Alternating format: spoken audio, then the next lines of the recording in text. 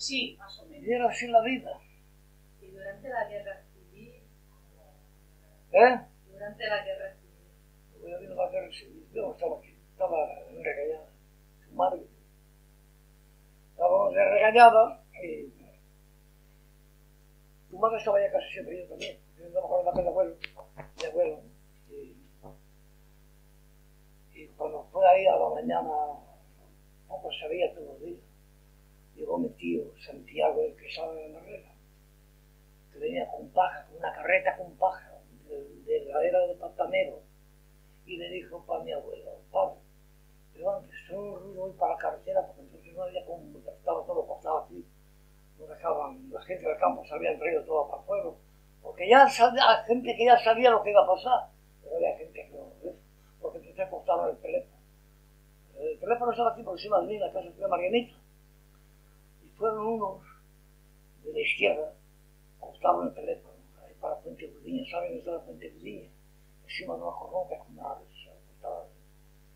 Eh, y bueno, lo que digo, cuando mi abuelo se levanta y viene un coche, mismo frente de la colada la casa, en la carretera, paró. Viene un camión, paró. Viene otro, paró. Viene otro, paró. Viene un coche detrás, paró también. Y vienen otros seis camiones detrás, pararon. Y tiraron para casa de las Balbinas. La regañada, de la regañada. Tomás de la casa de la regañada. Balbinas fora que Es el nombre nuevo, actual ahora. Antes era la regañada. y un coche tiró a la casa de mi abuelo. Pero en vez de la casa de mi abuelo fue para la casa de abajo, donde Tomás la regaña que estaba ahí. Cuando vinieron para acá, se bajaron las esquinas de la huerta que estaba allí y tiraron para la casa de, de mi abuelo, cinco. Nosotros y tu madre y yo, tu madre era más vieja porque tu madre tenía que, yo tenía nueve años, pues ella me daba 17, pues ya ves. Tenía 16 años. dentro de la sala mirando. Mi abuelo ahí el medio del llano. Viene uno se dirige a mi abuelo. Agustín, tal, que tal. Y viene otro igual. Uno era el del administrador que estaba en la finca, de este barrante. Y otro era un capitán de la Guardia Civil que había estado en la regla. Esto conocido. Ognuno si è trascinato come vuole un po' come di fuori, ma riuscite la monopolia, si è capace di Adesso la mia guerra, guerra no, Agustín, ¿qué tal está la cosa? Pues te digo, no sé, no hay comunicaciones iguales, no sabemos nada, pero la cosa está un poco grave. Así que tengo que ser estudiado antes de llegar. Mi abuelo de medio sabía que estaba la Guardia Civil de Herrera, carabineros, carabineros, eran carabineros, Fieles a la República. Eran los carabineros que todavía eran fieles a la República. ¿Qué? Eran fieles a la República, los carabineros. Claro. Aquí había muchos carabineros entonces y los guerreros que estaban aquí también, porque ya sabían que iban a venir las puertas de aquí. O sea que los carabineros le hicieron frente a las fuerzas que vinieron a tomar el pueblo. Estaba en el casón. Ahí en el casón parapetados. Y había otros con escopetas y con cosas que estaban ahí en el, en el huerto tocar los. Que se llama tocar los huevos. Y estaban ahí metidos. Y dijo mi abuelo, tengan cuidado porque mi abuelo había oído cualquier cosa. No, si nosotros vamos a llegar a entrar, ellos tiraremos 400 tiros, 300, 400 tiros al aire. No se mete con nosotros, no nos metemos con nadie. ¿eh? Ay, mis hijos, y mi abuela, ay, mis hijos, no se preocupe, señora, que no va a pasar nada. Si no se mete con nosotros, nosotros no, no nos metemos con nadie. Hay un rato y digo, pim, pim, pim, pim, ya había muerto el tío, ya, ya estaría. ¿no? Ya estaría. Y tu abuelo vivía en la calle de mi abuelo, mi padre, sí, en la calle del Pozón. Y ya creían que se dejaban salir la gente al campo porque tenían toda la gente del campo que trabajaba, que aquí porque ya sabían lo que iba a pasar. Y tu abuelo y tu abuela salieron que echaban rayos por cabeza sosa. Entonces, ya los guardias civiles, porque la cabeza sosa las balas ya caían. Sí.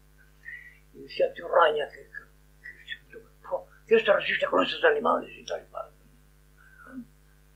Su abuelo salió corriendo por la cabeza chosa, puso la mujer, optaron por la machera, ya por atrás, por atrás, por atrás, por atrás, fuera, a las dos fueron para regañadas, hasta que pasaron las fuerzas para adelante, para, para, para, para arriba, Ellos se querían refugiar en la regañada. Entonces, Sí. mi abuelo quería estar Y aquel día padre. mataron, pues aquí, aquel día mataron aquí, me parece que fueron cinco. Sí, Mataron al padre de la Juliana, sí, sí.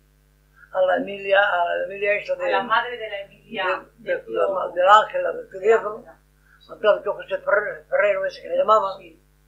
mataron a un falange, que era Al el marido de la, de la tía Remisida. Bueno, el Michel ese día lo llevaron a Ah, las eso minas, fue ese las día fue para las minas. Ah, ah, vale. Ese Ese día no fue, ese día no fue. Ese día lo llevaron a las minas. Aquí mataron cinco, me parece, o enterraron la misma. El, padre de la Juliana a mí me contó mi madre que estaba guardando unas cabras en el la- de, El padre de la Juliana de, de, esta- estaba guardando unas cabras en un huerto allí cercano. Y el hombre cuando vio que vinieron a tomar el pueblo se asomó por la, así un poquito por la pared y que le pegaron un tiro. El, tío, el padre de la Juliana vivía en la calle del Tesoro. ¿Eh? Vivían ahí. Y el tío Francisco, el padre, el abuelo de Chirrieste, le dijo, Cándido, vamos que están ahí. No, yo quiero ver funda él. Y cogió una hacha de espada y se fue a la calle arriba. Y se fue hasta la, subía en la fuerza, estaba en la caseta todavía. Y se metió en un, un corral de cochinos del tío Zaragoza. Sí, por ahí, por ese huerto. Y, y pero ellos estaban ahí en el pueblo las fuerzas. Y se asomaba así, lo griparon, lo subieron a tapón. Entonces se puso una dictadura que agarró tabaco tenías que comprarlo con una cartilla de razonamiento. Eh, pan, porque el pan, el pan pesaba igual, porque lo quitaban.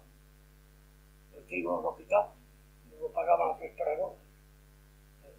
El que tenía mucho se lo pagaba mejor, el que tenía poco. Y como no podías vender el trigo tú a nadie, porque estaba intervenido por el servicio nacional del trigo, intervenido en todo.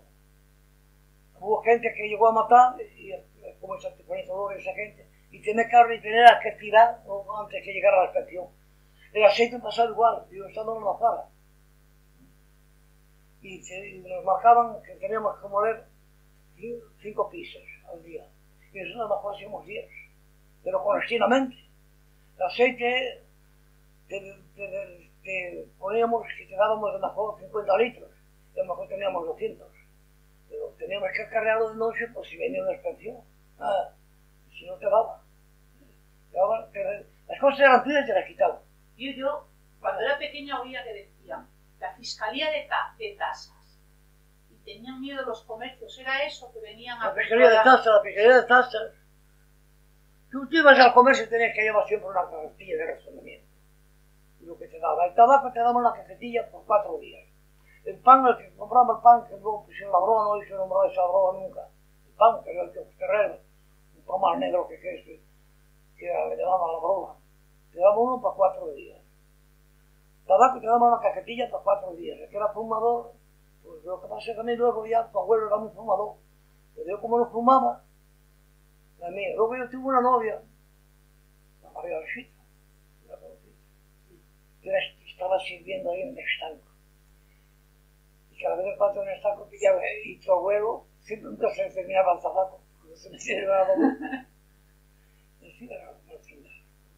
Tío, y, y una cosa. ¿Cuándo fue? Porque a mí me contaron que llamaban por a pegarse a hermanos, entre hermanos, cuñados, vecinos. ¿Fue antes de la guerra o durante la guerra? Y Bueno, que- esto fue antes y después. y que mi padre había terminado con, con esas peleas. Y un día llamaron a, fue la vecina a, a casa de mi padre y le dijo, mira, hoy han mandado pegarse a mi hermano y a mi, y a mi yerno. Y entonces dijo mi padre, bueno, no se preocupe, que esto lo arreglo.